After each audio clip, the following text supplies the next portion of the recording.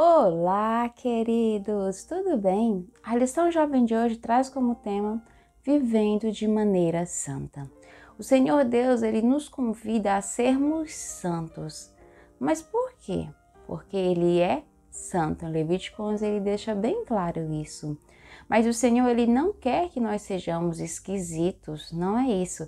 Ele quer que nós sejamos exemplo, para que pessoas possam olhar para nós e perceber através de nossa saúde, de nossas ações, que nós conhecemos um verdadeiro Deus. As dez palavras, ou seja, os dez mandamentos, são normas que nós devemos seguir, porque através desses padrões mais elevados que Deus ele quer, Ele deseja que nós sigamos, nós demonstramos que somos diferentes, que somos pessoas que realmente conhecemos a Deus. O Senhor também faz distinção em que o que nós devemos comer e o que nós não devemos comer. Anteriormente, antes do dilúvio, o Senhor deixou uma refeição, uma forma de alimentação que nós pudéssemos ter uma nutrição completa, que era através de grãos, semente, frutas. Após o dilúvio, o Senhor permitiu também o uso da carne, mas ele deixou claro quais são os alimentos que nós deveríamos comer. Ele fez distinção entre aqueles animais que são puros e os animais que são impuros. A Bíblia não deixa claro o que que distingue esses animais, por que que os torna puro ou impuro, mas nós devemos então seguir aquilo que Deus deixou para nós. Se nós formos perceber, os animais que o Senhor considera impuro são aqueles que fazem mal para a nossa saúde. E o desejo de Deus é que nós tenhamos uma vida plena, uma vida em abundância. Quando Deus, ele pede para você não comer algo, ele não quer que você seja infeliz, mas pelo contrário, Ele quer que você esteja esbanjando saúde para que assim você possa ser uma bênção para o seu próximo.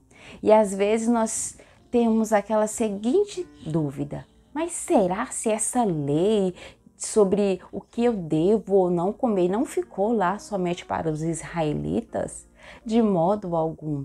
Quando o Senhor faz essa separação de animais puros e impuros, os israelitas ainda não existiam. Ele fez essa distinção em Gênesis 7, lá no princípio mesmo. Então, que eu e você possamos escutar a voz de Deus, que nós possamos escolher sermos santos, viver uma vida santa, uma vida separada, para que através de nosso exemplo as pessoas possam olhar para nós e falar assim: eu quero conhecer esse Deus porque esse Deus é um Deus que cuida dos seus filhos, que cuida da saúde. Quando nós somos negligentes, as pessoas olham para nós e muitas vezes pensam assim: eu não quero conhecer esse Deus.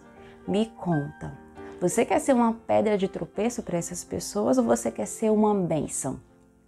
Que nós possamos decidir sermos bênçãos e que possamos hoje também escutar a voz de Deus e falar: sim, Deus, sim, Pai querido, eu quero viver uma vida em abundância. Então eu quero ouvir os teus conselhos e seguir cada um deles para ser uma bênção na sociedade. Vamos orar? Senhor meu Deus, nós sabemos que os teus padrões são os mais elevados. Que possamos escutar a tua voz, Pai, e sermos exemplos para a sociedade. Esteja conosco hoje e sempre com os nossos familiares. Pedimos isso e agradecemos em nome de Jesus. Amém.